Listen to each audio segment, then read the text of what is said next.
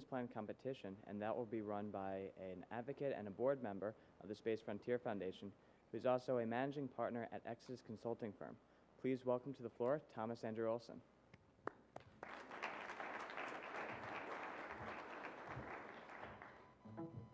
Good morning. This, uh, I like to say this thing has been a long time coming, but it really hasn't. We put this together, I think, in record time to, uh, to get this thing going. I think we have some really great business plans for you guys to look at today, and we have an equally distinguished panel of judges to, uh, to uh, pass judgment on them. Um, next slide, please.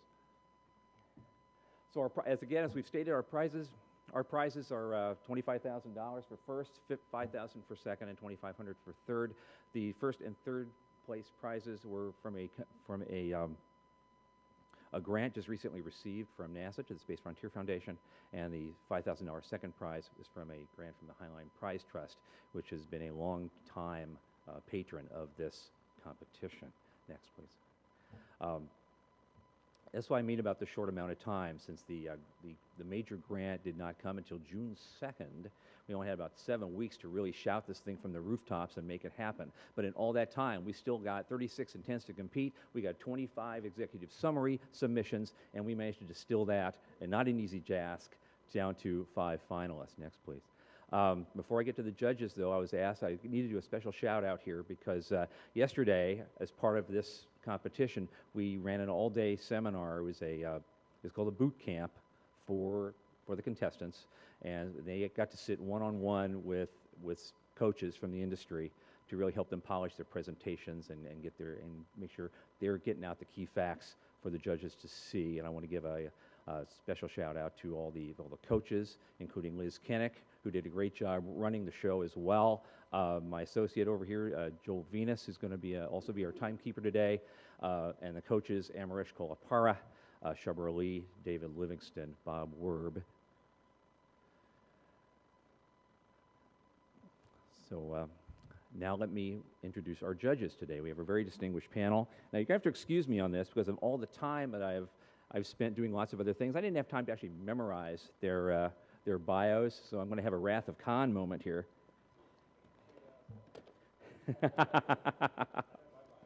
yeah, I know, but I'm going to I'm going to start at that end. Our first our first judge our first judge is Steve Goldberg, PhD. He's from Venrock.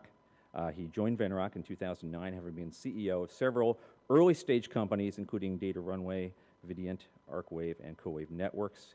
He was Vice President of Research and Development at Nokia Internet Communications and VP and GM of the Wireless Communications Division at Cylink Corporation. He's also held senior management engineering positions at Trimble Navigation and Hewlett Packard. Uh, he has a, and he has his uh, PhD in electrical engineering from the University of California. Please welcome Steve Goldberg.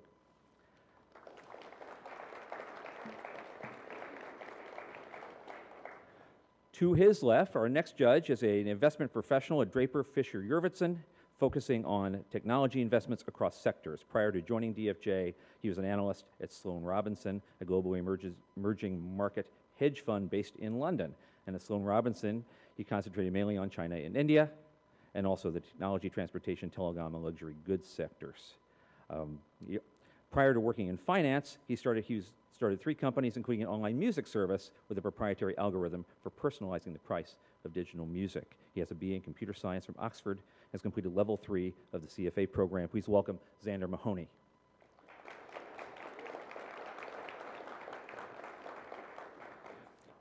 Our next judge is the founder and managing partner of Near Earth LLC. Previously, he was a managing director in the telecom group at Credit Suisse First Boston.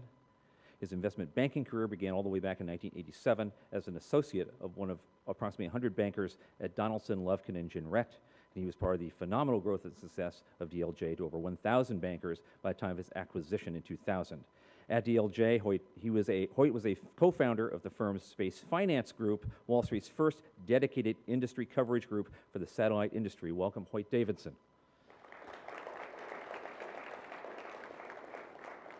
Our next judge serves as a management consultant and financial advisor to a generation of space entrepreneurs by helping them develop viable businesses and navigate the world of venture finance. He co-produced the, fir the first and second annual Space Venturing Forum, an entrepreneurial event hosted by the National Space Society.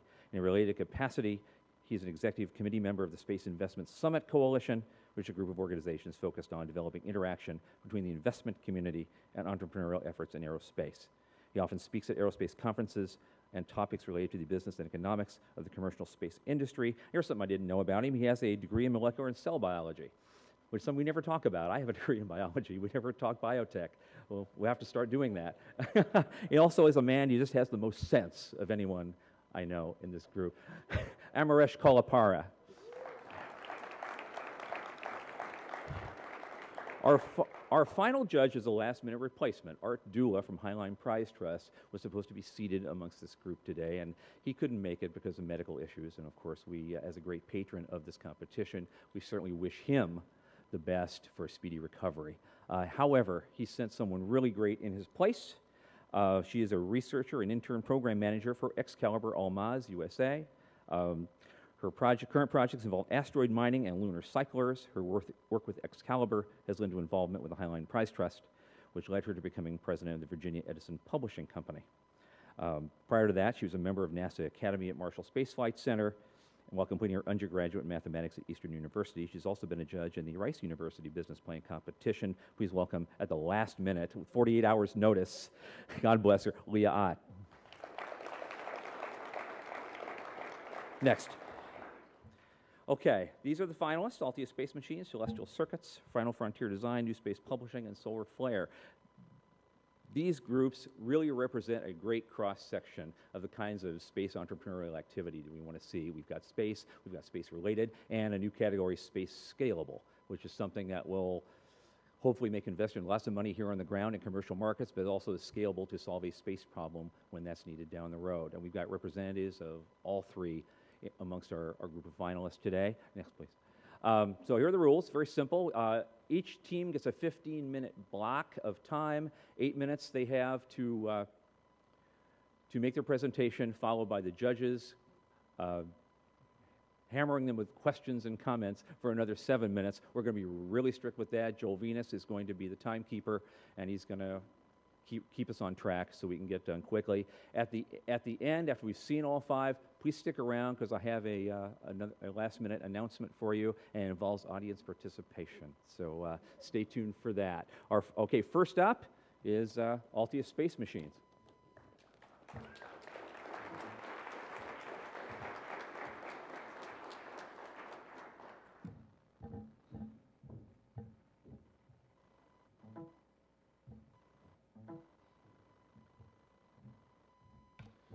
Okay, um, I'm John Goff, President and CEO of Altius Space Machines, and we are developing a solution that enables nanosat launch providers to deliver payloads directly to space stations. Uh, not only does this unlock a huge new market for them, this also will enable us to achieve 20 to 70 million dollars in annual revenues once we've scaled up to full commercial operations, and ultimately enable us to change the way space deliveries are done forever. Okay, right now, uh, just-in-time payload delivery or just-in-time small package deliveries are a critical part of the terrestrial economy. However, this capability is not available to uh, space station utilizers such as NanoRacks and their customers. Next slide. Um, existing uh, existing uh, delivery vehicles, such as the uh, SpaceX um, Dragon, they work very well for bulk cargo delivery, but just as you wouldn't send a single FedEx package on a 747 all by itself, you wouldn't fly a Dragon with just a single small payload. Right now, you have to manifest it in a bigger payload, which by definition makes it no longer just in time. There are currently uh, several companies in the suborbital RLV uh, group and, and elsewhere, such as XCOR Aerospace, Scaled Composites, um, Unreasonable Rocket, uh, Dynetics, that are developing what are called nanosat launch vehicles. These vehicles can put small satellites, things about this big, uh, up into space. And while they're right sized for delivering these small payloads to the space station, they currently are unable to do so. Uh, the, the complex delivery vehicles, such as Dragon, they don't scale down small enough and actually leave you any payload left over. Uh, Just the proximity operation sensors on Dragon alone are bigger than the payloads that we're talking about delivering here. Next slide. So the customer that we're trying to, the customer need we are addressing with Altius Space Machines is this need of how do you, you know, how can we enable these, uh, these nanosat launchers to service this market? If we can uh, enable them to service this market, not only are we opening a huge new market for them, but we're also addressing the needs of space station researchers and manufacturers and ultimately making them more competitive uh, compared to terrestrial counterparts. Next slide. So the solution that Altius has uh, developed, we're calling it our direct-to-station delivery service. What this does is it offloads the complex delivery functions from the visiting vehicle to the actual space station itself and allowing any rocket to serve as its own delivery vehicle. Um, next slide. So let me walk you through a quick cartoon of how this works. So first off, you have um, on the space station itself, you have a, uh, a sensor and control system that can tell exactly where the vehicle is and calculate the optimal trajectory. Next slide. Uh, it sends a series of burn commands to that vehicle that allows it to navigate to a safe standoff distance from the space station that is close enough, next slide, to enable our sticky boom, which I'll explain in a second, to reach out, safely grab it, and pull it into the station. Next slide. Okay, this, uh, the sticky boom, for, for lack of a better term, is a mechanical tractor beam. This thing can reach out and stick to almost any object you can think of in space. Uh, metals, plastics, asteroids, any, anything. Uh, we're developing this uh, in collaboration with SRI International here in Silicon Valley, who invented the electroadhesion technology that we're using uh, to enable this uh, sticking to any surface. Um, the cool thing about this is that while it sounds sci-fi, it's actually real. Uh, we brought a prototype. We fl- flight tested this on a zero gravity plane here in Silicon Valley a couple months ago. And if anyone wants to try it out after all the presentations, uh, we'll be out in the hall and we'll run it till the batteries run dry. Uh, next slide. So we have a cool technology, but we've been getting real traction and interest from commercial, uh, from NASA and commercial uh, customers. We're currently working on a NASA contract uh, for Mars sample return. Um, we've also uh, we've also recently joined a Lockheed Martin joint proposal uh, for demonstrating a version of this technology for space junk removal that will ultimately provide some of the technologies we need for our direct-to-station solution. Next slide. And we intend to leverage this trend in, in government and commercial interest to enable us to cover the, use that to cover the R&D expenses of bringing this technology all the way to commercial operations. Once we are in commercial operations, we're looking at a lease fee model where we would lease the hardware and provide operations and maintenance services uh, for the space station operators, and then we would charge a fee directly to the delivery vehicles. Um, and as you can see, even at uh, even at weekly flights, we're getting up into the 20 million, a doll- uh, 20 million dollars in annual revenue mark, just from commercial uh, uh, commercial alone. So the management team we've put together is very well uh, focused on this on this on this marketplace. My background is a co-founder of one of the suborbital rocket companies that's interested in developing these nanosat launch capabilities. Gives me a great insight into this market, and not only that, I'm on a first-name basis with the CEOs of almost all of our potential customers. Uh, the rest of the team we pulled together has decades of experience in aerospace uh, sales, marketing, business development, and finance. And uh, our acting CTO has 20 years experience at NASA and in commercial industry uh, developing um, deployable structures very similar to the boom part of our sticky boom. Uh, next slide. So we are raising $400,000 uh, at, at the current time. Uh, the main focus of this, uh, we, we list several near-term things we intend to spend that on. Uh, the big one big part is securing our IP position. We have a provisional patent already for Sticky Boom, but we want to file full patents for Sticky Boom and our direct-to-station delivery service so we can lock in our competitive advantage. And ultimately, by uh, by executing this business plan, we feel we'll be in an excellent position for a merger and acquisition event sometime around when we enter commercial operations at the end of year five. So that's, that's the solution we're providing for nanosat launchers. This is an excellent opportunity for them. This is an excellent, excellent opportunity for us, and it will ultimately allow us to change the way space deliveries are done forever. And with that, I'd like to open it up for questions.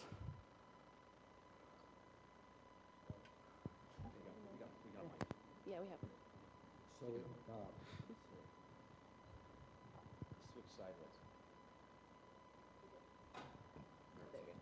So um, this is a leasing model?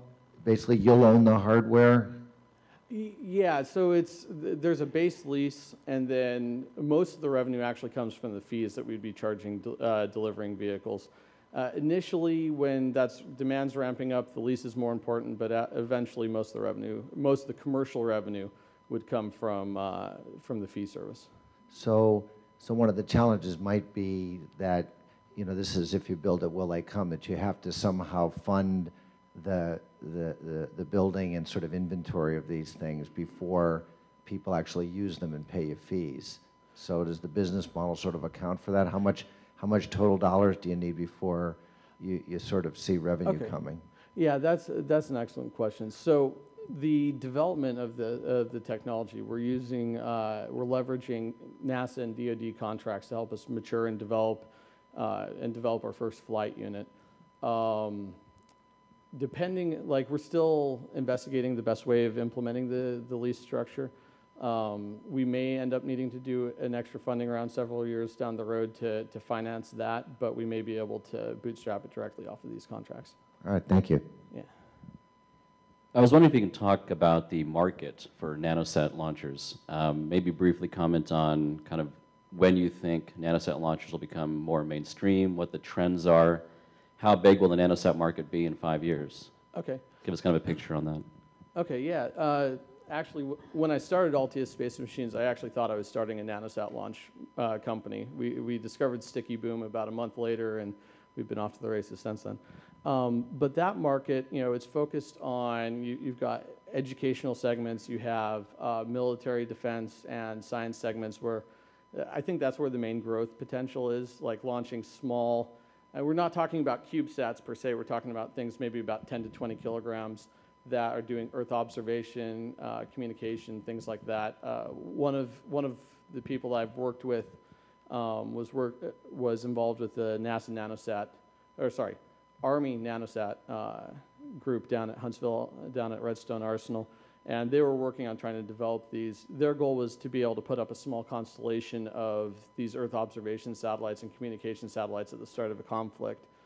Um, the the market for that, th- there is a there is a market for nanosat uh, launch capability. I don't know the exact numbers. We're probably talking on the order of eventually getting up to, you know, tens, twenties, thirties of launches per year, maybe more. Um, but this, like this market is actually potentially bigger than all of their other markets combined. Like this unlocks a key new area that they can't currently access by themselves. Yeah. Does, can the average spacecraft withstand being grabbed by something? Are you at risk of pulling panels off? Do you need some? I mean, the, the idea of this is that it's it's doesn't matter whether the other guy has mm-hmm. your hardware, but you don't want to break his spacecraft at the same time. Yeah, yeah. The, uh, the the pulling force that this provides is actually pretty gentle. Um, so a lot of a lot of the technical development is going to be around figuring out the best way to do the control and not pulling too hard so that the pads come undone from the from the target, not or, or damaging it, things like that. That that's part of what we're trying to use these NASA contracts to help us uh, mature. Yeah. Well, that, I think, leads into my next question. In your business plan, you said you had um, received $200,000 to date, I think, from Mhm. ULA, DARPA, and JPL, Yeah. and you were expecting uh, a total of 1.6 million by the end of the year from identified opportunities. Can you talk a little bit about, um, well, first of all, what are the, the applications of ULA, DARPA, and JPL? Wh- Why are they paying you money? And secondly, for the, Yeah. the balance of the 1.6 million, sort of who's that coming from and what are they looking for from Sticky Boom? Okay, uh, good question. Yeah, the uh, ULA contract was uh, working on some um, Centaur upper stage uh, guidance and control applications, which are actually very relevant to the uh, you know, figuring out how to do this, um, doing the burns and stuff you need to do for the direct-to-station deliveries. Um, the DARPA project, we were actually building the avionics set for one of the nanosat launch providers, uh, building the, the computer brains for the upper stage of one of these providers. Uh, the JPL project is for capturing a small uh, Mars sample return canister in Mars orbit. Um, so all of these are providing pieces of the puzzle that, that feed into the end system. Uh, the other the other contracts that we are you know have you know, have in the pipeline that we're working, on- uh, that we're working on finalizing would be, uh, we're working on, um, well, we have the Lockheed Martin, proposal that we're in, and that's for, as I was saying, maturing a, uh, maturing to flight readiness status, uh, a, um, sticky boom, uh, sti- a sticky boom-like solution for orbital debris removal. Um, we're also looking at a range of other smaller contracts for uh, developing different different facets and aspects of the end solution. Um, that answer the question? Thanks.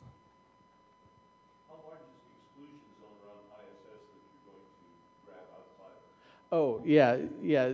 You actually need to guide the vehicle into, into the area that's, you know, that's currently controlled by visiting vehicles. It, it doesn't get around that, but it allows us to offload the visiting vehicles requirements from the nanosat launch provider more towards our side of the solution space. Could could there be an eventually a kind of standardized sealed hatch that I could walk through at some point in the future from this? Um, what we're like for, for these small payloads, we're actually envisioning a solution that would use uh, the Japanese experimental module has this equipment airlock, and we're actually planning on things that are small enough that you could actually just fit it in through the airlock. So it's not you're not bolting it to the side of the station and opening a hatch. You're actually passing it in through a hatch that already exists on the space station. Uh, but yeah, you could eventually scale this up to solution. Like this scales up all the way to space shuttle sized uh, payloads um, in the future. You're talking about maturing your flight unit. What's your time frame for getting a unit flying? Okay, um, like uh, to actually get it into space operations, um, we're looking at we're probably looking at two to three years out. Uh, it, it depends on the flight opportunity. Uh, the space station has a lot of additional certs and requirements that we'll have to work through that could take longer, but we're targeting about three years. Okay. Yeah. As I understand it, some of the IP belongs to SRI and some, some you're developing. Mhm. Um, Where are you in terms of a a licensing agreement with SRI? Yeah. Obviously, the, the terms of that could affect your business model. Mm-hmm. Um, And just sort of tell us what they own, what you own. Okay, yeah, uh, right now, um, you know, this is the area that we're actively negotiating with SRI. We're also trying to get a, you know, strategic partnership relationship, not just the, not just a licensing structure. They're helping us develop, you know, not just the electroadhesion aspects, but also potentially some other, um, details of, uh, of making, you know, the, the compliance structure work and everything else. So they own the underlying technology for electroadhesion and as well some complementary technologies which we may be taking advantage of. Uh, we developed Sticky Boom and uh, yeah, we developed Sticky Boom and Direct to Station. And there's also some overlapping areas that we both have some ownership, so we'll probably be doing some uh, joint patents with them as well. But a lot of those details we're still in active negotiation on. Thanks. Okay.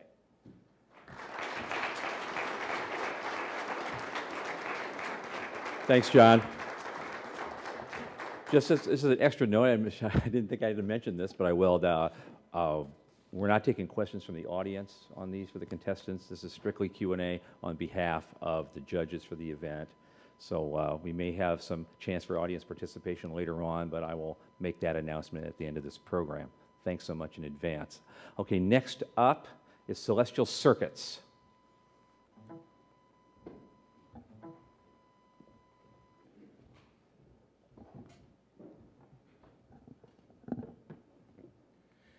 I'm Steve Bress, and this is Jim Dunstan. We're with Celestial Circuits.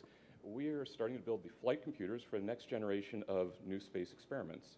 We're really standing at the precipice of a new dawn of experimentation in space. And for those who aren't involved in space on a day-to-day basis, probably what you're thinking is the shuttle is ending, uh, we're ending manned spaceflight for, for, for a particular period of time. But in fact, along with that is, is a real set of opportunities. You, you heard George Whitesides earlier this morning talk about Virgin Galactic is excited about flying suborbital space uh, um, experiments. Uh, space News has an Alan, Alan Stern on the front page talking about uh, suborbital uh, experimentation. We've got a real, real dawn of a new market here. Next slide. If I want to conduct a chemistry experiment, the first thing I don't do is invent the Bunsen burner. I take one off the shelf, or I go to Bunsen burners are us, or I go to eBay and buy one down. Next. The problem for space experimenters currently is they have to spend as much time building their computers and building all the pieces of their experiment as they do building the experiment itself. So experimenters need computers for command, control, data acquisition, and analysis for a wide variety of experiments, from crystal growth to biological to physics. Everything they want to do, they've got to catch the data, they've got to analyze the data, and they've got to control their experiment. And they need it in a plug-and-play environment with an accessible user interface. So Celestial Circuits is going to standardize and drive down the cost of computer hardware for the CubeSat form, form, format, basically something that looks about like this, picture down below. And the same experiment, the same equipment can be used for experiments all the way from tower drops, just dropping it off your school if you're a student, all the way up to the ISS. We estimate the total market for these command control computers to be upwards of 16,000 units through the year 2014. Next. Okay, so far we've built uh, small data acquisition computers in the PongSat format, which basically fits inside a ping pong ball, and flown one of those to about 120,000 feet. Um, we've also gotten a NASA Phase 1 SBIR, which is uh, just under $100,000, for actually building the first version of some of these uh, um, NanoRacks compatible data processing units, uh, which uh, they're hoping will make it easier for uh, experiments to be run on ISS. When we deliver the hardware, which is unusual for an SBIR, they'll have full information on the hardware. There are no safety issues with the hardware, and there's no problem getting it to ISS. In fact, we expect the, uh, our version of the flight hardware to fly in uh, early mid 2012. Um, we're also applying for the uh, phase two of the SBIR, which, if we get it, is a half million dollars. Um, and and we've, we've basically secured the high ground in military parlance by, with an MOU with NanoRacks. You've heard them discussed a little bit uh, before. NanoRacks currently has on board ISS two NanoRack um, uh, facilities which fit the CubeLab format. Um, we have an understanding with, that, with them that we hope to mature into a contract. So we truly have the high ground and we want to bring it, reverse migrate the technology all the way down at a level where schools can, can, can participate. Okay, well, the product is not one product, but it's actually a small product line. At the lower end, uh, we envision in educational kits that would allow schools, uh, homeschoolers, anybody who has interest in space experiments to be able to essentially run the experiment on the ground that we're running in space. Those, uh, the entry level uh, boards would be in the $200 price range. The base model is what we're doing under the SBIR contract. It's good for nice generic experiments. It can collect data, collect a lot of data and provide, uh, allow the astronauts to get the data off uh, the module. We also have an advanced base model coming up which has higher performance uh, computational abilities. And then beyond that are the units that are for the more advanced users, which uh, are essentially the same units, either radiation hardened or non-radiation hardened. Um, so there's a low-cost way to experiment with it before having to uh, lay down the big bucks to get the same unit and a rad hardened ready for flight. The key here is all the products are going to be have fully licensed subassemblies. The IP is very clean here. We don't, we're not under contract for anybody else. Nobody else owns any of the IP of the development. It's all developed in-house, and we're going to own all of that IP. So the management team, you've met Steve, um, 30 years of hardware and software ex uh, experience. He holds seven patents in the uh, issued patents in the computer hardware and security devices. And I will tell you, as uh, although I'm a lawyer, I spend more time with engineers than I do with lawyers. I have never met a computer engineer who is truly ambidextrous other than Steve, and by that I mean if your problem requires a hardware solution, he will build you the board. If your problem requires a software solution, he will write you the code, and if it's somewhere in between, he'll do both. And that's very, very unusual, and why uh, I, I, think there, there, there's such, you know, a certain special sauce here. Uh, the other thing is that Celestial Circuits will leverage some of Steve's other company. You can actually think of Celestial Circuits almost as an SPE, a special purpose entity. Steve already has a warehouse, he already has a computer lab for his computer forensics division, and so we, we can keep the overhead low for Celestial Circuits by, by use, utilizing that other, um, uh, other equipment that he has. And uh, Jim is uh, a lawyer and also a technologist. He understands the technology and very familiar with space, but also he's uh, can pick up a keyboard and do some programming and uh, help design some of the uh, hardware concepts. But as, as, an attorney, he's been involved with many, many, many space startup and uh, computer uh, ventures. He's also been 10 years as a financial partner with a law firm in Washington, D.C. And finally, we brought in Don McMahon to be our Director of Educational uh, Outreach. As we say, we think there's a real STEM component here, the ability to have students running identical equipment, identical experiments in a controlled environment that are being run all the way up to, up to ISS. Don is a retired uh, school teacher, uh, former Director of Technology for the Mesa, Arizona School District, and, and developed and designed the PBS award-winning space integration model simulation that now all sixth graders in Mesa run through a space simulation that, that Don designed. Uh, he has a wonderful knack for being able to create curriculum uh, for students, and he's also uh, the, the education director for the Teachers in Space project. Okay, this is just a slide to show some of the uh, earlier software projects uh, that uh, Jim and I have worked on, and I've worked on software for a long time. Uh, basically, I've shipped over a million units of software, even though probably nobody's heard my name or heard of my companies. Mm, Next, next slide. And but I've also uh, been doing hardware for quite a while. Quite, excuse me, quite a while. Also, the scale and size of these modules that we're building is right in line with the type of hardware that I've been building uh, for other uh, projects. So there's no, we're not stressing the state of the art. We just have to be very careful in engineering to do this type of project. So, in conclusion, we're- seeking funding of a half a million dollars in equity for 25% of the company. This is based on a company valuation end of year 2014 of $11 million. And this is not a round one of X rounds of financing. This is the only financing we, we think we're going to need. The, the beauty of this company is it starts small, it scales linearly as the, as the market scales. We don't bring on people, we don't bring on uh, uh, additional overhead until we've got the revenues to, to, to satisfy that. And basically, thank you for listening. It's, now it's time to experiment. And we're happy to take your questions.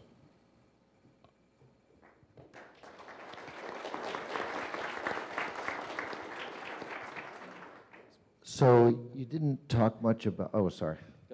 You, you didn't talk much about competition, so is this a brand-new market opportunity to make these form, form factor computers that would go into this space station and have people on the ground do, you know, similar experiments? So is there no one else in the market, you're creating something new? What indication do you have that there's, you know, that there's gonna be a market? Well, I- I- I'll take, take a shot. In, in terms of the CubeSat, um, there are companies that, that provide CubeSat enclosures and CubeSat computers. They tend to be very, very expensive. Sort of the starting price uh, of their entry model is, is the price of our rad-hardened FPGA unit at $5,000 and up from there. And so they can't really access um, that, that, the, the educational market at the, at the bottom.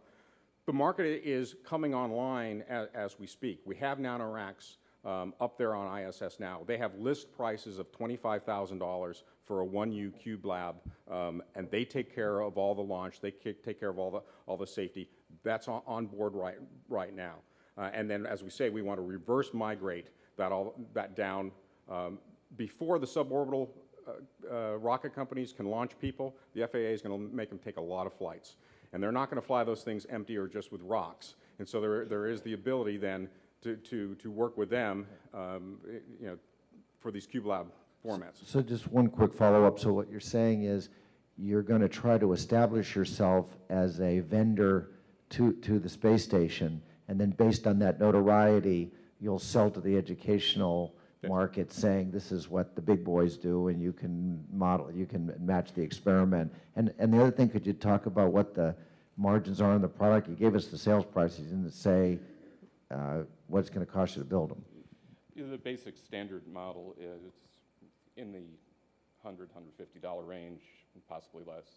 Just depends on quantity.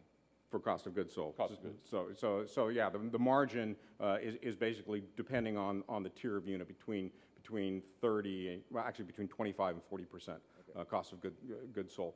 Um, Just to, to follow up, on ISS, already in nanoracks, they, they have flown, I believe it's 25 uh, um, separate school districts.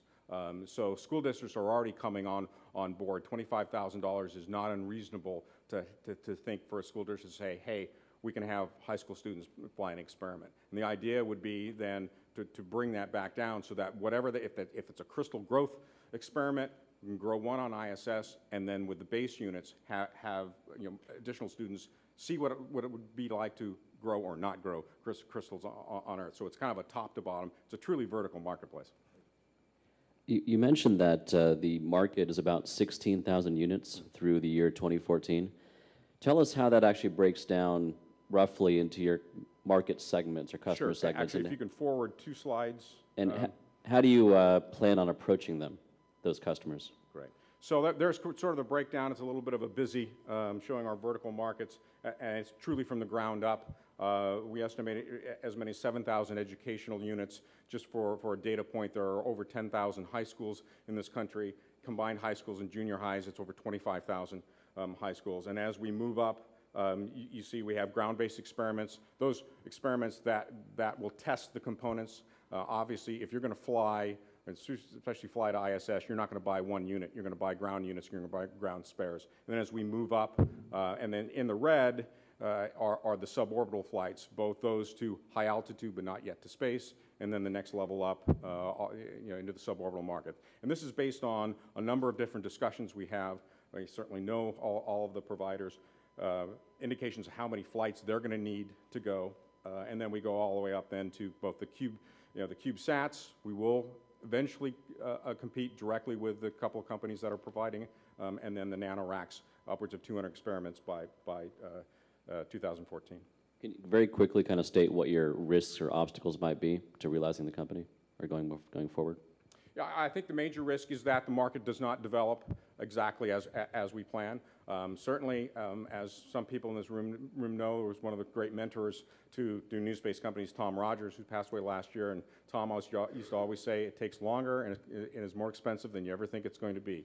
Um, We've certainly built that padding into uh, the pro formas. And, and again, the idea is to, is to expand the company slowly as the market comes online. We can sit this, if it takes three years or four years for, for the market to, to develop, you know, we will be able to sustain during, during that period. We don't, we're not requiring any miracle occurring here, other than eventually, you know, people saying, yes, we do want to, do want to fly these experiments. And you said that your target goal for the investment is five hundred thousand, Yes. but Mhm. also that if you apply for phase two, it's also five hundred thousand? Yes, mhm, So would you need one or the other, but you'll take both? Exactly. Okay. Mhm. Oh, I didn't know if you got the Yeah. investment, you wouldn't apply for the SBIR? Oh, no, of course we Okay. want SBIR, more, SBIR money, but it's always more fun to have more money. Hi, uh, two questions, one market and one uh, competition. Investors love when you have an alternative market to go to if the experimenter market doesn't work out or is delayed for three years. Um, So first, could you talk about uh, any uh, alternative markets that you've explored or thought about? And secondly, um, you know, Clyde Space and, um, and Pumpkin, who you mentioned in your, in your business plan, uh, are competitors. Um, They're more of a sort of one-stop shop where they sell you the cube and everything in it. Um, so, so I- it, it seems like you believe that because your computer will be maybe better and cheaper, that people will buy the computer from you, but everything else from Clyde and Pumpkin. Uh, the- Uh, if, uh, you know, is, is that is that the premise, or could you actually use Clyde Space and Pumpkin as your distributor and have an agreement with them so that they sell your computer? Or, Well, Clyde Space likes to make power supplies, and they're very good at that. And I have no problem using one of their power supplies. But also, they are both uh, Cube uh, CubeSat companies at the moment. They're, they're building all the bits and pieces you need for a free-flying uh, CubeSat. We're starting out working with uh, NanoRacks on SBIR, and the requirements and the designs are completely unrelated to a CubeSat. Um, so we have our, we get to start in our little niche, and that's in fact what the SBIR is about, is trying to make a, a nice, easy way for, for a new experimenter to be able to use the uh, NanoRacks uh, platform. So we, the, going after the CubeSat market is sort of an expansion area that we expect to go into, but we're initially starting with where we are mostly alone in, in the new market. Thank you, gentlemen.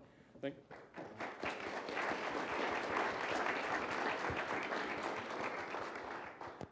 And our next finalist is Final Frontier Design. Ted Southern.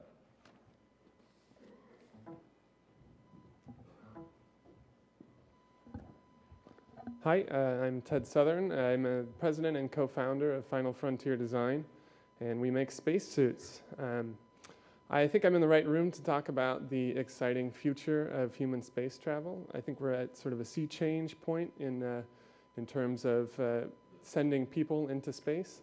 It's uh, traditionally been the market of governments to get people up there, and uh, all of a sudden people are paying to go up to the ISS. There's a whole host of providers that intend to send humans up to space. I was really excited to see uh, Virgin Galactic talking about that this morning. And I think a huge part of that is going to be safety. Uh, it's really important that this industry remains uh, committed to safety, uh, sending humans up into space. And uh, space is a really hostile environment for humans. Uh, not only are there drastic thermal issues and radiation and high speeds, but perhaps the most dangerous part of space is pressure.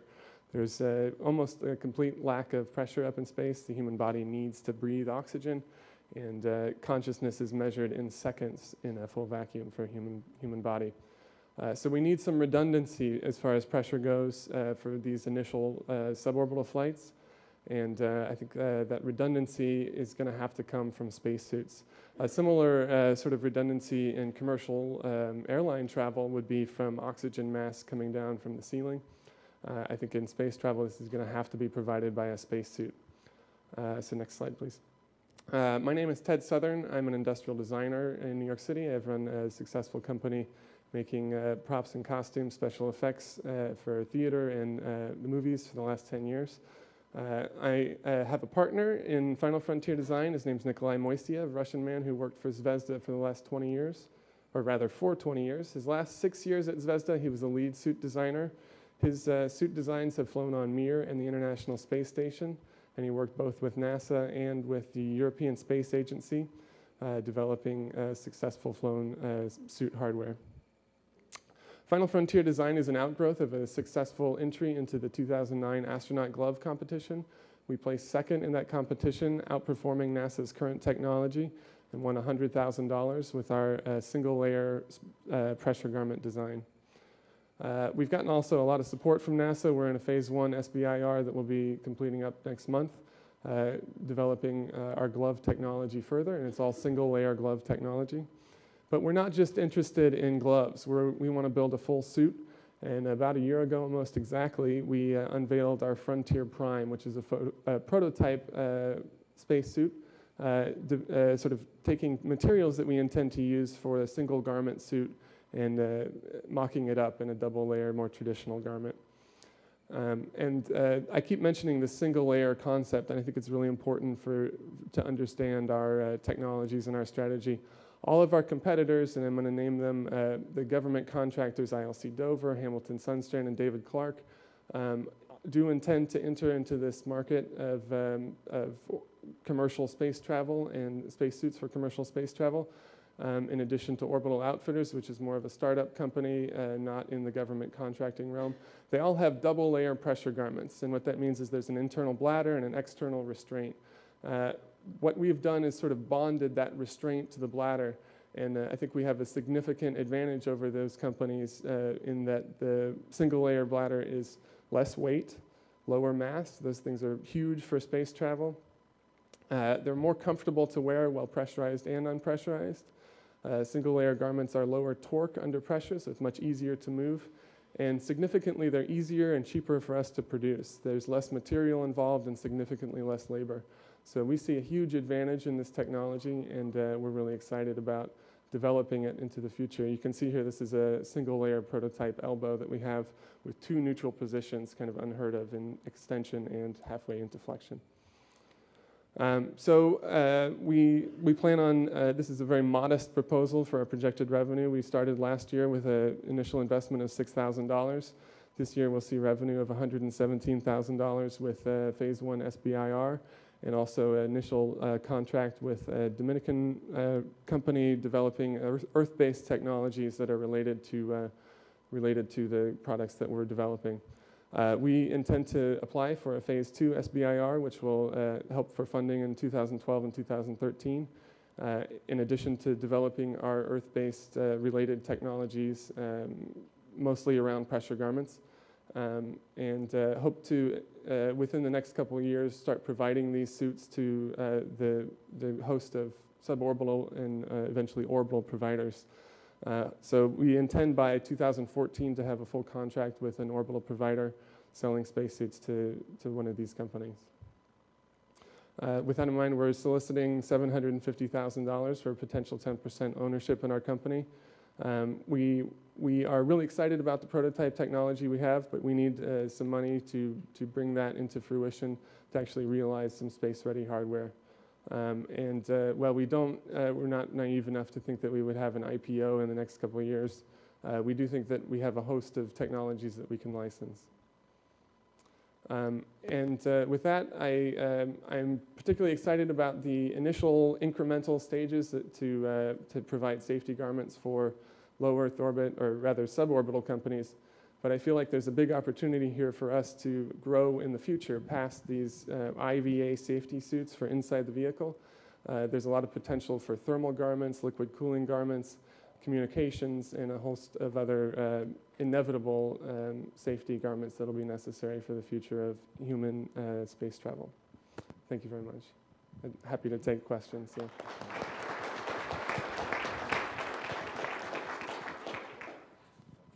So, so um, are you, is, do you have an estimate for the number of people you expect to serve, so over some period of time?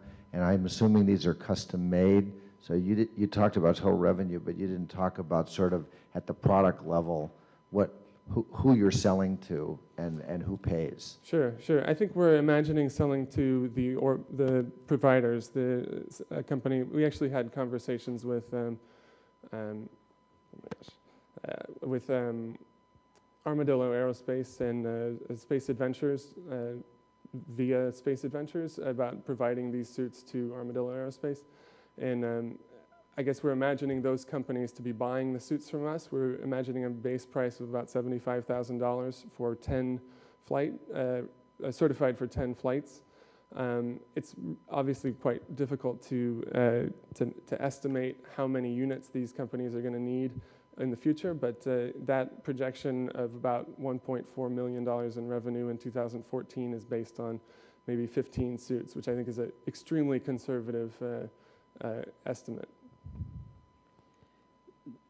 I see a lot of new space companies that have excellent technologies and come from, at least have management teams with excellent tech technology backgrounds. And the actual IP that they develop is uh, very unique and well thought through from a technology perspective. But the concerns that usually arise are concerning the market itself. Um, if a wonderful technology doesn't have a market, um, you know, the, the viability of the company is not that strong. This analogy applies in you know, many other industries, not just new space. So this is kind of an adjunct question to the one that was just asked. You answered kind of how big the market was. Can you tell us more about what the distinction is between space tourism markets versus other markets and where you see yourself fitting in relative to that? Um, I think I understand that question. I, obviously, our, our first focus is space tourism. I feel like uh, we want to grow incrementally with this growing market, and um, uh, low Earth orbit is, or rather, suborbital flights are sort of the perfect place for us to enter into spacesuits. Spacesuits are extremely complicated, um, uh, engineered uh, garments, and um, we feel like that incremental um, first uh, step into suborbital companies is a sort of the perfect place for us to develop our our technologies. Um, as far as uh, other other um, commercial options for spacesuits, um, I, think a lot of uh, long-term um, potential is for EVA uh, spacesuits and the sort of things for um, maintenance on on space hotels or the International Space Station. Uh, EVA spacesuits tend to be very complicated, but can be incrementally improved from IVA suits, and so I think we see potential uh, growth there for uh, long term for EVA suits. Does that make sense? So you you articulated the um, advantages of a single layer spacesuit, but is there a desirable margin of safety from the old style dual layer spacesuits? Yeah, we've uh, tested these suits according to NASA standards. Um, we have burst tests upwards of 25 psi. Um, we uh, can go through cycling phases uh, that are equivalent to uh, the traditional double layer suits. Double layer suits can fail as well. They're all sewn. And I think a big advantage that we have is uh, this bonded technology that we have doesn't involve sewing at all. So we're not puncturing the garment. So uh, the safety uh, we find is, is equivalent. You talked about selling your suits to the suborbital companies to begin with for 10 flights per suit.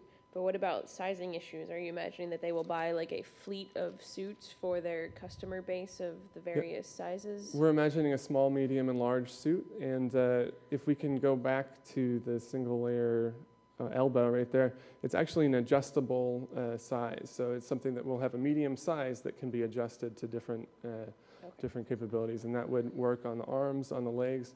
We actually have a uh, ankle uh, adjustment that would allow for somebody as tall as myself to wear the suit, uh, which is key. And uh, we would have, we would also have uh, finger sizing so that each individual finger could be sized. Hi, uh, I've got a lot of questions, but I'm having trouble getting past the valuation and would like for you to talk a little bit about that. Um, For a company uh, at this stage with two founders and no customers yet and a lot of development in front of you, uh, 10% for 750,000 seems rich, and I think you'd have trouble with a lot of the angel uh, stage investors and, you know, VC investors supporting that. So can you tell us your thoughts behind that? Sure, sure. I guess I'm playing hard to get. I, feel like I really have a ter- terrific technology here, and uh, I feel like um, with uh, Nikolai's experience, uh, we have something really solid to stand on. So I'm, I am very confident in our technology. I feel like we're going to outperform our, tech, our competitors tremendously. The government contractors uh, are going to be about 10 times as expensive as we are, and so uh, with this market coming forward. Um, I, I, I honestly believe we have a really strong company. So. Do you have built into your scheduling the time cost of money pending risks from flights not actually happening when they say they're going to? Primarily with the issue of delay of first flights and commercial flights for Um, the private space companies. If they're not flying when you think they are, according to your schedule, how will that affect your return on investment and requirements for funding? Um, that's a very good question. Um, we, uh, we can, I mean, we can develop this technology very quickly. Right. Um, and uh, so I guess, of course, we would need to sell these suits before, um, before these companies are actually space certified. Um, we anticipate having flight tests with, with these companies uh, well before any actual uh, space flight would happen. Uh, we obviously do um, hope to receive NASA funding over the next year. We're actually um, having them in our lab in, a, in next week, which is unfortunately why Nikolai couldn't be here. And I, we think that's a really good sign of confidence in NASA. So. Um, Can you talk about any potential partnerships that you're thinking about or might uh, enter into um, for systems that are kind of above and beyond the suit, life support systems, things like that?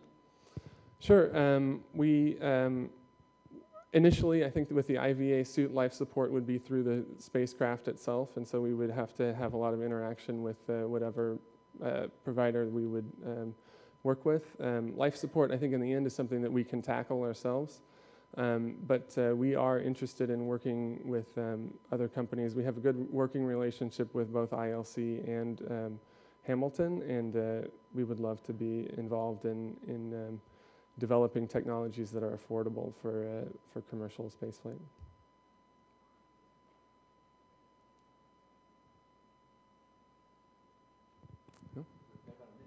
Oh, fair enough. Uh, um, what's the what's the cost of developing the suits right now, and where do you um, how does that change over time with more volume?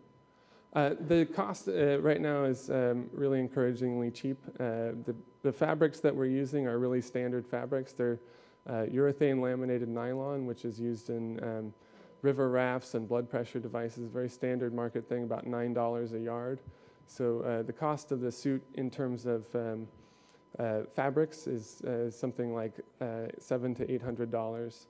Um, uh, labor is um, uh, again much easier than a double layer suit, so uh, we we see a really um, uh, significant um, margin in um, uh, the, the price of the suit versus uh, the cost put into it. It's it's a tremendous margin for us. So.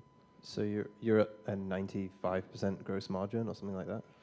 Uh, in development now, it's taking some time, and we're working for free, so it's um, uh, uh, probably something like 95%. Yeah. Thank you very much.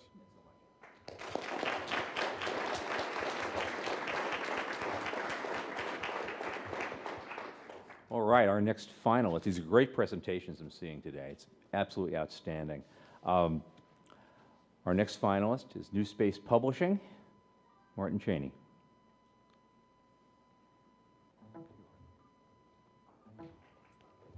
Good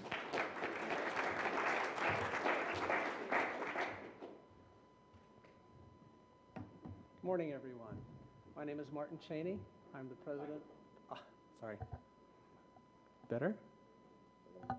Okay. I'm Martin Cheney. I'm the president of New Space Publishing. And um, we are publishing currently a quarterly magazine which is completely devoted to the explanation and promotion of the commercial spaceflight industry. It is currently available in a digital format, and we hope to have a printed format available when the first tourists step off their spacecraft. Commercial spaceflight is making progress, but interest and awareness is only among those early adopter markets, the science and the space community. There is, however, a much, much larger market that is not aware of commercial spaceflight and the promise it holds for helping those individuals realize their dream of traveling into space. Slide. The big, or New Space Publishing conducted market surveys, and we came up, as we spoke with people, we identified several obstacles that were avail- or that were prevalent as to why people did not understand or know about commercial spaceflight. Three of those obstacles came in the form of what you see on the slides there. The biggest obstacle was the lack of knowledge about the commercial spaceflight industry. There was also a belief that only governments can build spacecraft, and those not seeing the benefits of commercial spaceflight. Those are the individuals that have forgotten how we all benefit on a daily basis from previous space research. These obstacles form a gap which keeps commercial spaceflight from being accepted by the mass market. So, how do we bridge that gap? Next slide. We do it with New Space Magazine. New Space Magazine will address obstacles with articles showing that commercial spaceflight is a joint effort between private companies and government agencies. We will also show that companies are building safe, dependable, and economical spacecraft. Within the pages of the magazine, we will have articles by astronauts describing the thrill of weightlessness and the thrill of seeing the Earth without boundaries from the other side of the clouds. We will also have articles about the international space efforts that many people are not aware of, and also about educational space efforts, which many people are not aware of. The readers of New Space Magazine will realize that it's okay to once again dream of traveling into space. Next slide, please. The market for New Space Magazine initially is going to be made up of those that are interested in science and technology and science fiction. This will be the initial market for New Space Magazine. According to the statistics that we gathered, recorded in 2008, there were 12 million people in the United States that were interested in science and technology. There were 11 million people interested in science fiction. There were also, of course, many moviegoers, so that anyone who walked into a Star Trek movie or a Star Wars movie is a potential subscriber of New Space Magazine. This market is also full of individuals and companies, the people that run the companies, to become advertisers in the magazine as well. Okay, next slide, please. The competition. Yes, we have competition. There are many science or technical magazines that are available. These magazines, over the last few years, have run articles on the commercial spaceflight industry. However, that is not the focus of those magazines. There are also internet uh, sites as well. And the internet provides volumes and volumes of commercial spaceflight articles if you're interested in wading through them to try and find information that is not a repeat and a repeat and a repeat of articles that you've seen before over the years. Excuse me. Um, next slide, please. The company New Space Publishing itself. It is a persistent and adaptive organization. We are continually networking inside and out of the global space community for articles and authors and ideas for promoting commercial spaceflight. We are also coordinating with other organizations on different ways that we can inform the public about commercial spaceflight. The company itself, in its daily operations, uses project management and process improvement methods that helps us to deal with identifying risks and opportunities. The Board of New Space Publishing has a total of 60 years of business experience and 35 years of, of publishing experience. Next slide.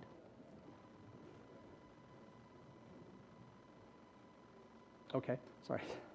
The profitability of New Space Publishing is that in 2011, we will be establishing Business Foundation and also gathering information about uh, article writers and such. We know that it's going to take a little while before the new space industry launches its first vehicle, and so we want to take advantage of that opportunity, that time, to establish ourselves within the space community and also to provide a lot of information about commercial spaceflight. So that being the case, in 2011, we are planning on continuing to develop partnerships and advertising and subscriber sales. In 2013, we plan to have the pub paper publication produced. And what that publication will do is provide us a great deal more income as far as advertising within the pages of the magazine. Next slide. New Space Magazine is seeking $150,000 in funding to get us through to 2013. As you can see that we are looking at spending money on industry promotion, magazine production, magazine marketing, operations, and of course we're going to hold back a little bit for contingencies. Next slide, please. It's important that you all realize that New Space Magazine is not just dedicated to a particular program like going to the moon or going to Mars. New Space Magazine is also not dedicated just to an organization. It's also important that you realize that New Space Magazine is not just reporting the news in the commercial spaceflight industry. New Space Magazine is about promoting an industry that has the potential to fulfill people's dreams. Thank you very much.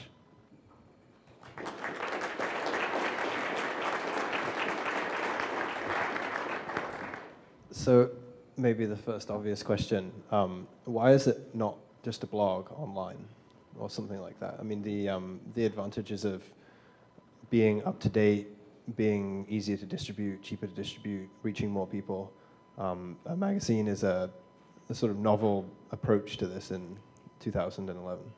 Yes, and that's actually part of it because one of the things that we, we have come to understand is that there were a lot of people who during the uh, NASA space program of the 1960s who had the dream and carried it into actually the 70s as well. And what we're targeting, part of the market that we're targeting is those individuals that had that dream and one of the things that's important about this is that we are, because of our digital format, we're appealing to a younger audience, an audience that is considerably more electronic uh, literate. But we also want to produce the magazine because it's more tactile, if you will. Uh, you can rifle through the pages, you can carry it in your back pocket when you get in a conversation about commercial spaceflight. You can pull it out and say, hey, did you see this? Kind of a thing. So we're appealing to two different audiences with both a digital and uh, a paper publication. I kind of have a related question. I was actually recently in a, um, a meeting with a newspaper and magazine publisher in the area. The CEO stood up in front of the entire team and said, Print is dead. What the hell do we do now? And the entire meeting was focused on brainstorming. And a lot of the conversation actually focused on mobile applications, um, iPhone apps, things of the like. Have you thought through that to kind of coincide with your digital uh, dissemination of content? Yes, sorry. Mobile applications? Yes, as a matter of fact, we have. And one of the, distri- the nation, well, a Canadian distributor that we have been working with has an offering of those mobile applications as well. And so we've been talking with them to be able to put the digital version through those applications as well.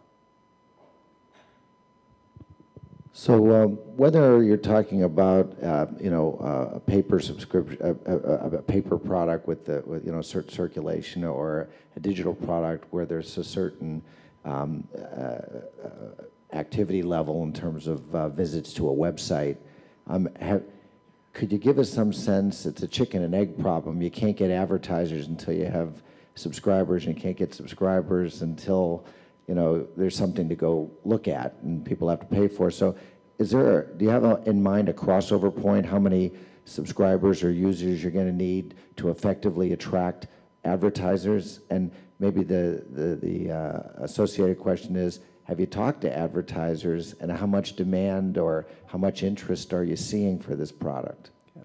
Uh, that is a, an absolutely excellent question, and we've run head to head, smack into that particular situation. We have been talking um, with distributors as well, uh, several of the nationwide ones. We've actually signed with one. And what we have found, and that is what you're describing is absolutely appropriate in regards to the uh, chicken and egg thing.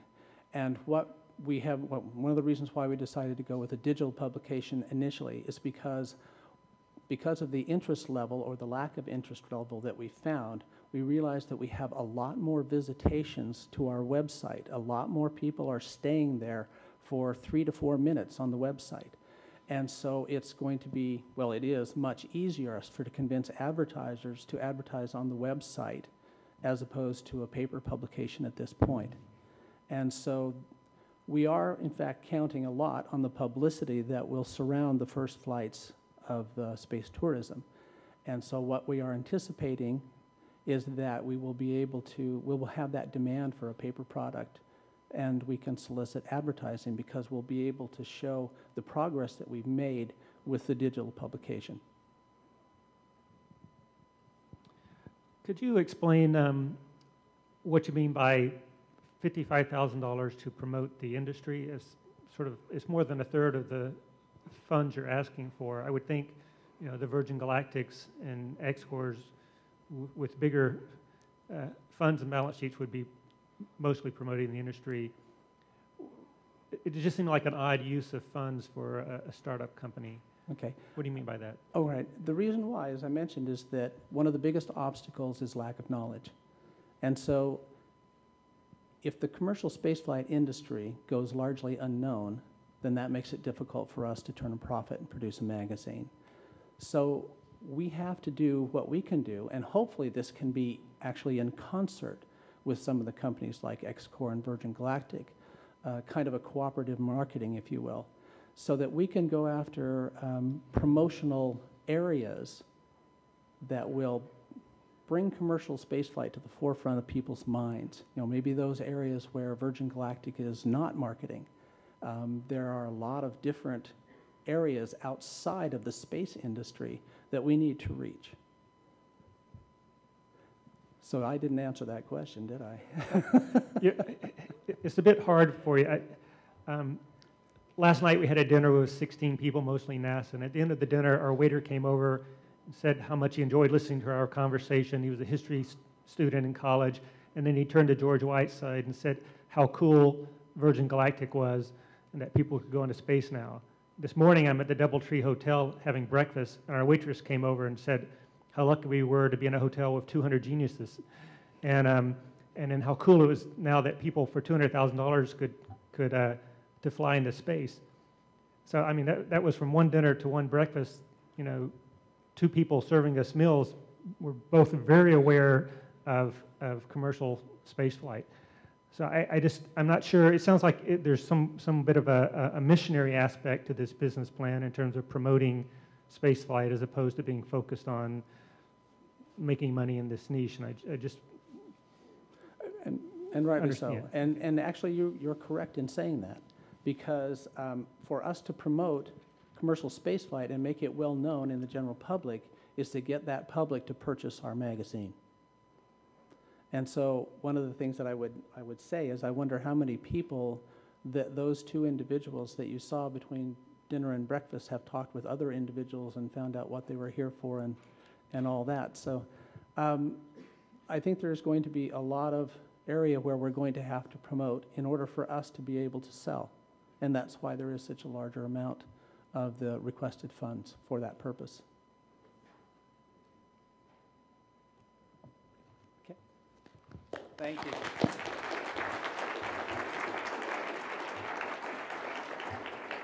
Thanks, Martin, so much. Um, and last up today is uh, Solar Flare, Shannon and Michaela Deesh.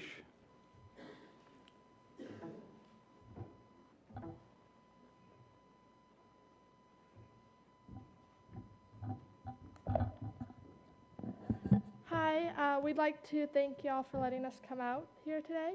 Uh, this is our business our business plan, and we are Solar Flare. Uh, this is my sister, Shannon Deesh. She is a 10th grader from Battle Creek, Michigan. Uh, for the past two years, she's attended Western Michigan University.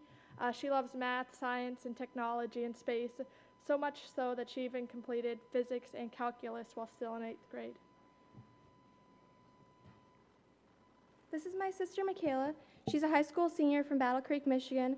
She's currently sitting on the board of Yuri's Night and the Conrad Foundation Alumni Committee. In 2009, she interned at the Michigan House of Representatives and received two special tributes from the governor of Michigan. Uh, Solar Flare spun out from a team that entered and won the Conrad Foundation Spirit of Innovation Awards. The foundation tasked us to create the first commercially viable space food product in decades, which turned out to be a nutrition bar that met the requirements of NASA. Um, after the competition, Michaela and I decided we wanted to market our bar, and as a result, it flew on the, to the ISS on Endeavour in May 2011. Uh, the bar market is over $3 billion as of 2010. Uh, our space background is a natural lead in for a functional food product that focuses on mental performance and cognitive health. Uh, there are a lot of bars in the market that focus on like diets or uh, athletes, but none that really focus on nerds and their mental performance. And as nerds, we thought we should be better represented. So um, we have come up with a patentable process of uh, stabilizing DHA, which is an omega-3 that makes up about 30% of the brain structure. And we found a way to stabilize it in our bar, which is pretty exciting.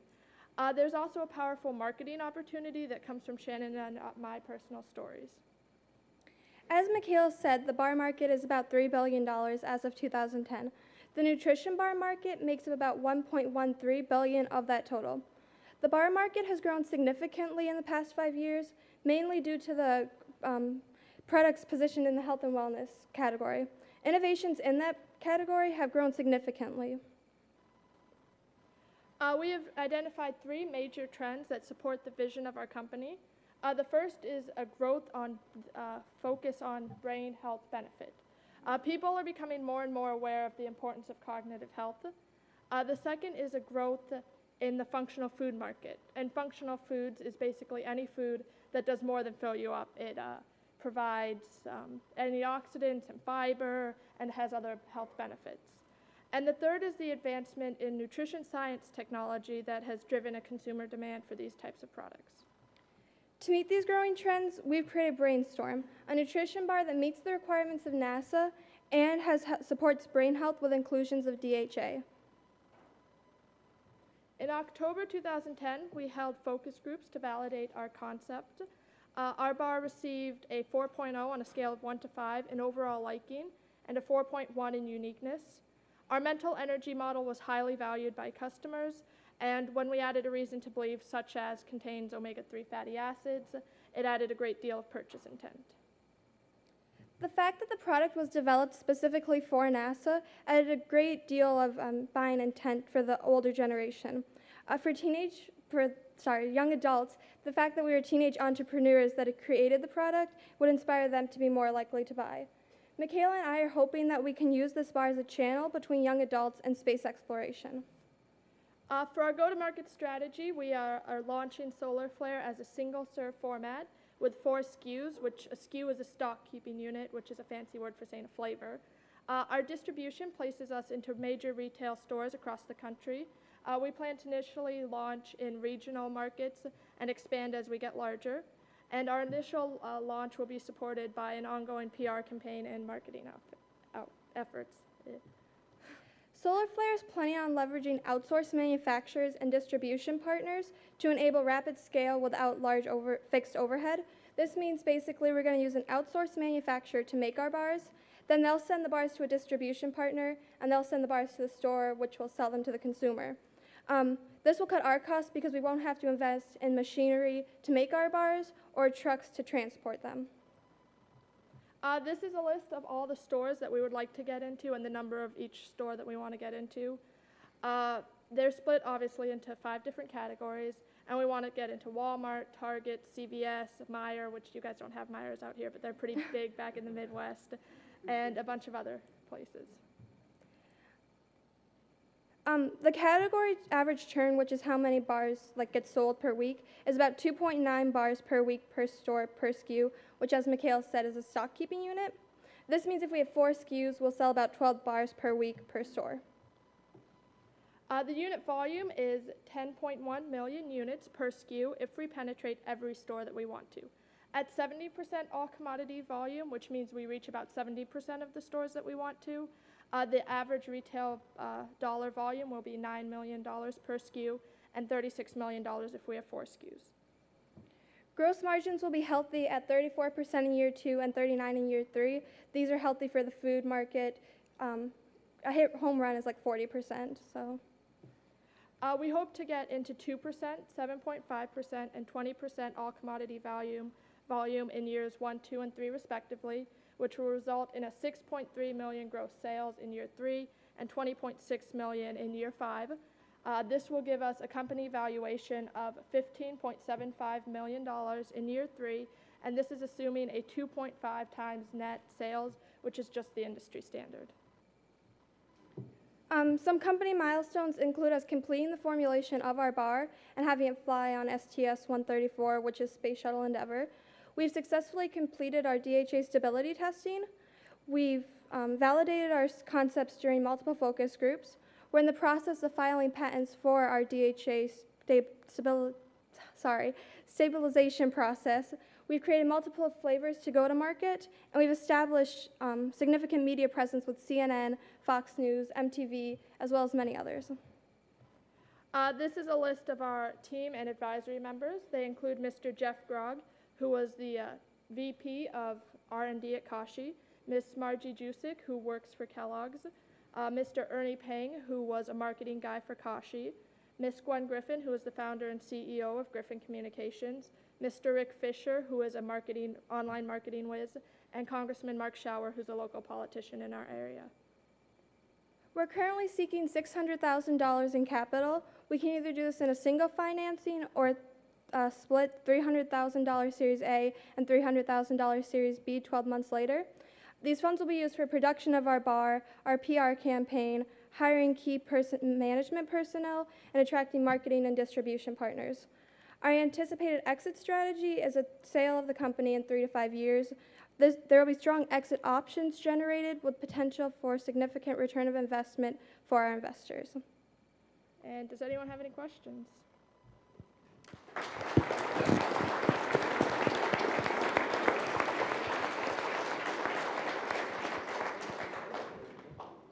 All right, so I, I, will ask the first question. So here, so clearly that was a very professionally uh, uh, prepared and presented business plan. So you did a great job, and it was so detailed. It definitely hits, you know, from the business I'm in, looking at business plans every day. It definitely hit all all the key items. So the one question I've got, and and I don't mean it to be a real hard question, but I do, I do think it's worth asking is we are at a space uh, focused business plan competition. Mm -hmm. And you, the origins of the product are from, you know, from this industry. But it just seems to me that are, are you expecting to sign an agreement with NASA that this is the official nutrition bar of NASA? And I kind of mean that seriously because if you're going to promote it as a product that's kind of tied to this industry, um, you're, it seems like the promotion is focused on, well, I guess the astronauts would care about nutrition, not about improving their brain power in the two weeks they're up in space. So it's probably nutrition oriented. Are you going to kind of make this statement and the main promotion would be, well, the astronauts use it, so therefore you should? Ha- Have you thought about how to tie it to the space industry?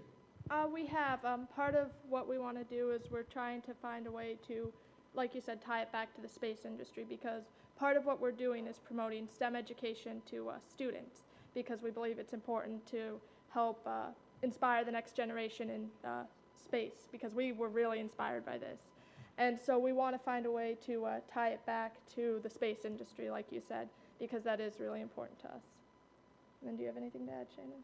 Yeah, basically what Michaela said, we're working, um, there's another side of our company, which I don't want to go into all the details of because that'll take a long time, but um, we're reaching out to schools to inspire them about STEM and space, which is, yeah. Okay, thank you. Um, I had a question around uh, kind of the uniqueness of your company. There's a lot of things that are very unique about the company itself. And one of the, I guess the secret sauce is, well, I guess sauce is probably the bad word for a nutritional bar. so the, the secret ingredient is your proprietary process for DHA, which I think is actually very critical. Can you talk more about the stabilization process? Who is doing that for you? Uh, when will it be patented? You mentioned that earlier. Yeah. So talk about the DHA process itself and why it's unique to you.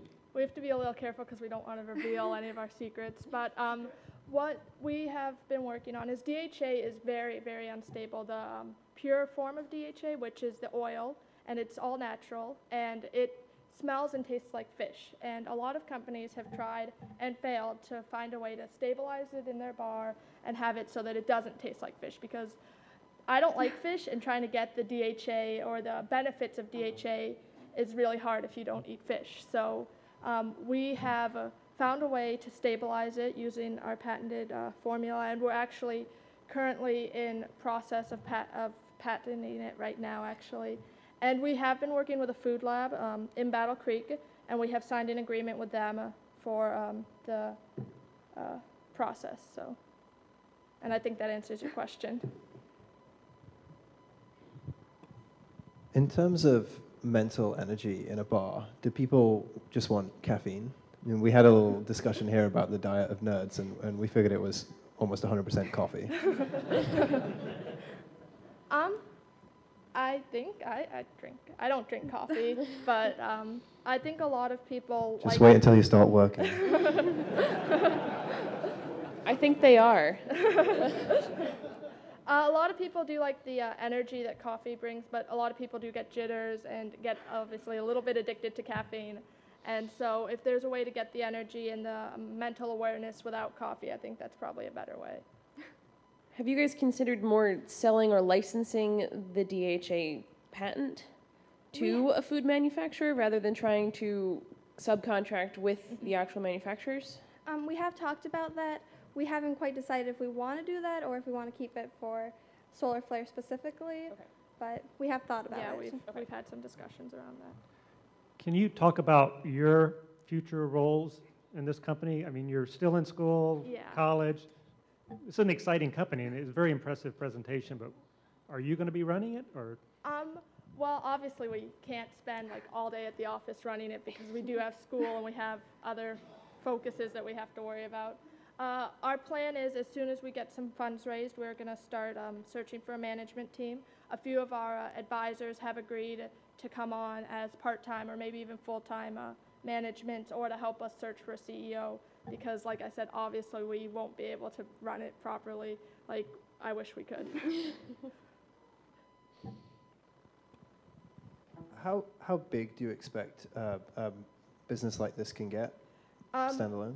Well, there's one brand which we always talk about is Fiber One, which is a functional food that Kellogg started, I want to say like three or four years ago, and it is currently a half billion dollar business. So we're hoping we can get that big. And are there any independents? As in, you know, Kellogg have a brand and distribution separate. This, um, the challenge here, I mean, this isn't my area of Yeah. expertise, but um, I see the challenge here being more of a marketing and um, getting the costs down production challenge. And this is all things are a lot easier if you're a big company like Kellogg. Yeah. Um, so I, I, wondered where you kind of see as an independent you can get to. Um, well, part of the way we're doing it, it's actually a really good system, is using our uh, outsourced manufacturers and brokers because then we have very low overhead costs and that allows us to scale at a really fast rate. I'm not sure any sizes of uh, independent companies.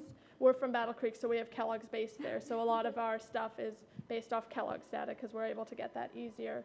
But I'm not sure sizes of independent companies Yeah, right I'm now. not sure. But um, a lot of our ingredients and manufacturing costs have been cut because people have been donating to us. So, like, we have a lot of ingredients in the lab waiting for us so we can produce it once we get enough funds to actually run it. But we have, like, a lot of people are donating stuff to us. So. Thank you.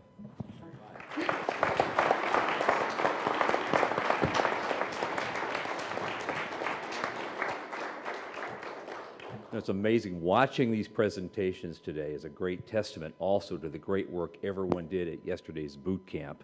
Because I know, I know Liz Kennett can attest, we saw some pretty raw recruits in there yesterday, and they all came out and did a really polished job. So let's uh, give them another big hand.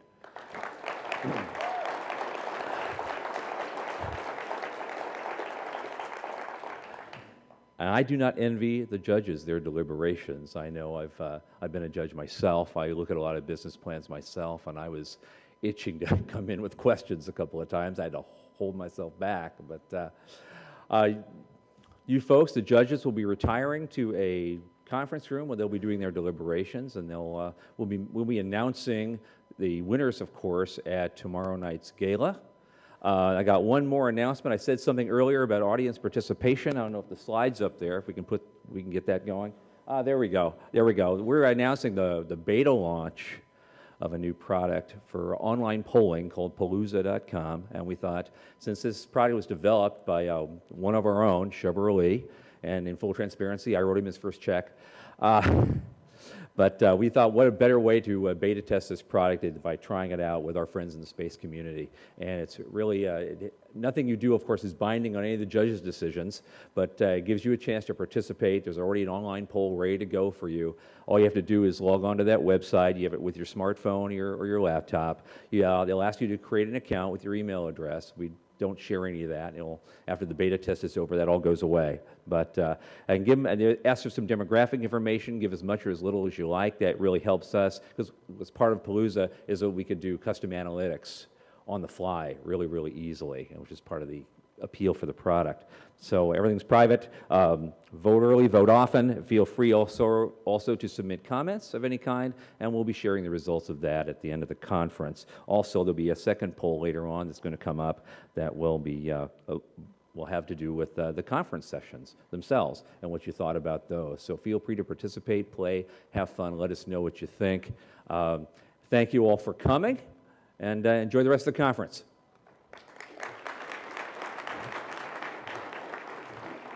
Plan competition, and that will be run by an advocate and a board member of the Space Frontier Foundation, who's also a managing partner at Exodus Consulting Firm. Please welcome to the floor Thomas Andrew Olson.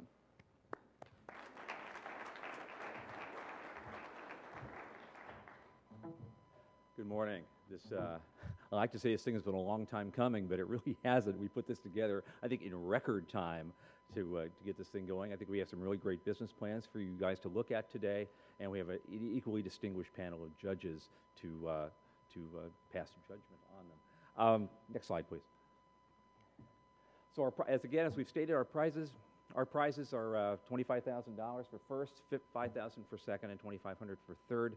The first and third place prizes were from a from a um, a grant just recently received from NASA to the Space Frontier Foundation, and the $5,000 second prize was from a grant from the Heinlein Prize Trust, which has been a long time uh, patron of this competition. Next, please. Um, That's what I mean about the short amount of time, since the, uh, the, the major grant did not come until June 2nd. We only had about seven weeks to really shout this thing from the rooftops and make it happen. But in all that time, we still got 36 intents to compete. We got 25 executive summary submissions, and we managed to distill that, and not an easy task, down to five finalists. Next, please. Um, before I get to the judges, though, I was asked, I need to do a special shout out here because uh, yesterday, as part of this competition, we ran an all day seminar. It was, a, uh, it was called a boot camp for, for the contestants, and they got to sit one on one with, with coaches from the industry to really help them polish their presentations and, and get their and make sure they're getting out the key facts for the judges to see. And I want to give a, a special shout out to all the all the coaches, including Liz Kinnick, who did a great job running the show as well. Uh, my associate over here, uh, Joel Venus, is going to be uh, also be our timekeeper today, uh, and the coaches Amaresh Kollipara, uh, David Livingston, Bob Werb. So. Uh, now let me introduce our judges today. We have a very distinguished panel. Now you're going to have to excuse me on this because of all the time that I've, I've spent doing lots of other things. I didn't have time to actually memorize their, their bios, so I'm going to have a Wrath of Khan moment here.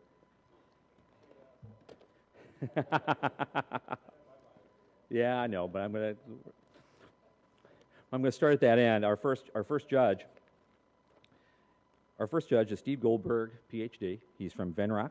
Uh, he joined Venrock in 2009, having been CEO of several early stage companies, including Data Runway, Vidient, Arcwave, and CoWave Networks. He was Vice President of Research and Development at Nokia Internet Communications and VP and GM of the Wireless Communications Division at Silent Corporation. He's also held senior management engineering positions at Trimble Navigation and Hewlett Packard. Uh, he has a, and he has his uh, PhD in electrical engineering from the University of California. Please welcome Steve Goldberg.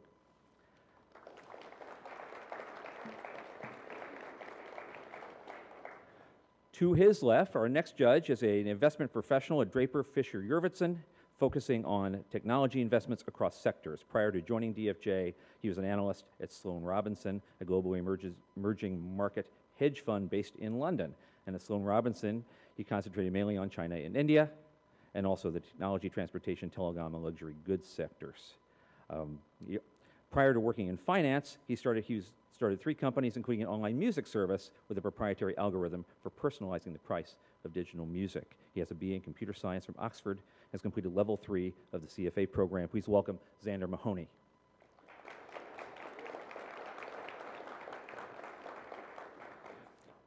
Our next judge is the founder and managing partner of Near Earth LLC. Previously, he was a managing director in the telecom group at Credit Suisse First Boston. His investment banking career began all the way back in 1987 as an associate of one of approximately 100 bankers at Donaldson, Lufkin, and Jenrette. And he was part of the phenomenal growth and success of DLJ to over 1,000 bankers by the time of his acquisition in 2000. At DLJ, Hoyt, he was a, Hoyt was a co-founder of the firm's Space Finance Group, Wall Street's first dedicated industry coverage group for the satellite industry. Welcome, Hoyt Davidson.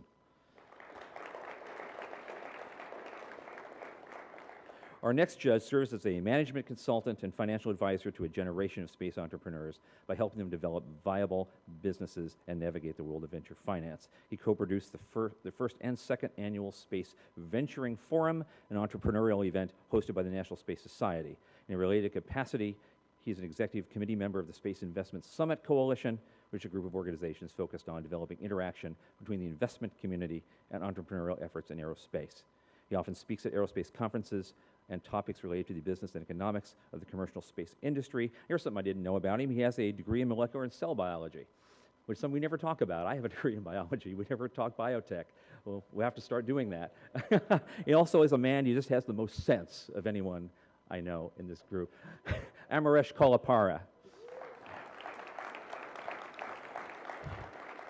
Our, our final judge is a last minute replacement. Art Dula from Heinlein Prize Trust was supposed to be seated amongst this group today, and he couldn't make it because of medical issues. And of course, we, uh, as a great patron of this competition, we certainly wish him the best for a speedy recovery. Uh, however, he sent someone really great in his place. Uh, she is a researcher and intern program manager for Excalibur Almaz USA. Um, her project, current projects involve asteroid mining and lunar cyclers. Her work, work with Excalibur has led to involvement with the Heinlein Prize Trust. which led her to becoming president of the Virginia Edition Publishing Company. Um, prior to that, she was a member of NASA Academy at Marshall Space Flight Center.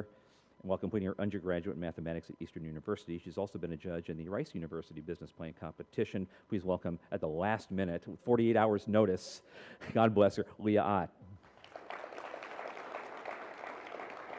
Next. Okay, these are the finalists Altius Space Machines, Celestial Circuits, Final Frontier Design, New Space Publishing, and Solar Flare. These groups really represent a great cross section of the kinds of space entrepreneurial activity that we want to see. We've got space, we've got space related, and a new category, space scalable, which is something that will hopefully make investors lots of money here on the ground in commercial markets, but also is scalable to solve a space problem when that's needed down the road. And we've got representatives of all three amongst our, our group of finalists today. Next, please.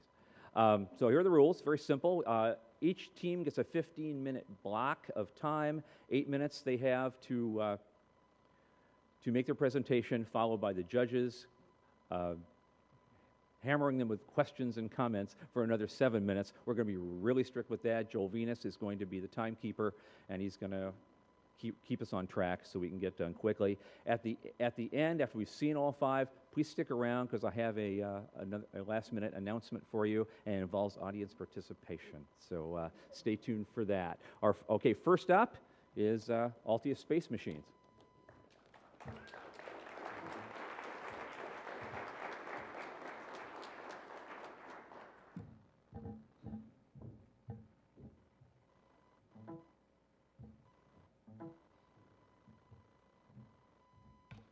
Okay, um, I'm John Goff, President and CEO of Altius Space Machines, and we are developing a solution that enables nanosat launch providers to deliver payloads directly to space stations.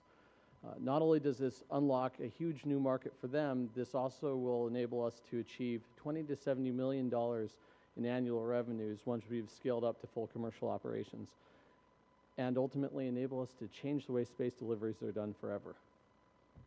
Okay, right now, uh, just-in-time payload delivery or just-in-time small package deliveries are a critical part of the terrestrial economy. However, this capability is not available to uh, space station utilizers such as NanoRacks and their customers. Next slide. Um, existing uh, existing uh, delivery vehicles, such as the uh, SpaceX um, Dragon, they work very well for bulk cargo delivery, but just as you wouldn't send a single FedEx package on a 747 all by itself, you wouldn't fly a Dragon with just a single small payload. Right now, you have to manifest it in a bigger payload, which by definition makes it no longer just in time.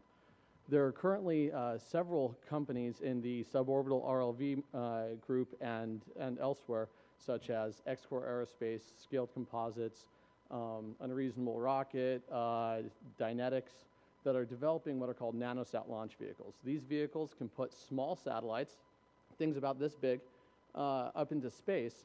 And while they're right sized for delivering these small payloads to the space station, they currently are unable to do so. Uh, the, the complex delivery vehicles, such as Dragon, they don't scale down small enough and actually leave you any payload left over. Uh, Just the proximity operation sensors on Dragon alone are bigger than the payloads that we're talking about delivering here. Next slide. So the customer that we're trying to, the customer need we are addressing with Altius Space Machines is this need of how do you, you know, how can we enable these, uh, these nanosat launchers to service this market? If we can uh, enable them to service this market, not only are we opening a huge new market for them, but we're also addressing the needs of space station researchers and manufacturers and ultimately making them more competitive uh, compared to terrestrial counterparts. Next slide. So the solution that Altius has uh, developed, we're calling it our direct-to-station delivery service. What this does is it offloads the complex delivery functions from the visiting vehicle to the actual space station itself and allowing any rocket to serve as its own delivery vehicle. Um, next slide. So let me walk you through a quick cartoon of how this works. So first off, you have um, on the space station itself, you have a, uh, a sensor and control system that can tell exactly where the vehicle is and calculate the optimal trajectory. Next slide. Uh, it sends a series of burn commands to that vehicle that allows it to navigate to a safe standoff distance from the space station that is close enough, next slide, to enable our sticky boom, which I'll explain in a second, to reach out, safely grab it, and pull it into the station. Next slide. Okay, this, uh, the sticky boom, for, for lack of a better term, is a mechanical tractor beam. This thing can reach out and stick to almost any object you can think of in space. Uh, metals, plastics, asteroids, any, anything. Uh, we're developing this uh, in collaboration with SRI International here in Silicon Valley, who invented the electroadhesion technology that we're using uh, to enable this uh, uh, sticking to any surface. Um, the cool thing about this is that while it sounds sci-fi, it's actually real. Uh, we brought a prototype. We fl- flight tested this on a zero gravity plane here in Silicon Valley a couple months ago. And if anyone wants to try it out after all the presentations, uh, we'll be out in the hall and we'll run it till the batteries run dry. Uh, next slide. So we have a cool technology, but we've been getting real traction and interest from commercial, uh, from NASA and commercial uh, customers. We're currently working on a NASA contract uh, for Mars sample return. Um, we've also uh, we've also recently joined a Lockheed Martin joint proposal for demonstrating a version of uh, this technology for uh, space junk uh, removal that will ultimately provide some of the technologies we need for our direct-to-station solution. Next slide. And we intend to leverage this trend in, in government and commercial interest to enable us to cover the, use that to cover the R&D expenses of bringing this technology all the way to commercial operations. Once we are in commercial operations, we're looking at a lease fee model where we would lease the hardware and provide operations and maintenance services uh, for the space station operators, and then we would charge a fee directly to the delivery vehicles.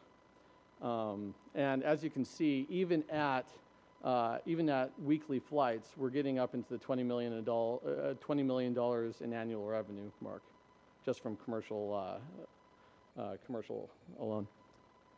So the management team we put together is very well uh, focused on this, uh, on this, on this marketplace. My background is a co-founder of one of the suborbital rocket companies that's interested in developing these nanosat launch capabilities. Gives me a great insight into this market, and not only that, I'm on a first-name basis with the CEOs of almost all of our potential customers. Uh, the rest of the team we pulled together has decades of experience in aerospace uh, sales, marketing, business development, and finance. And uh, our acting CTO has 20 years experience at NASA and in commercial industry uh, developing um, deployable structures very similar to the boom part of our sticky boom. Uh, next slide. So we are raising $400,000 uh, at, at the current time. Uh, the main focus of this, uh, we, we list several near-term things we intend to spend that on. The big one big part is securing our IP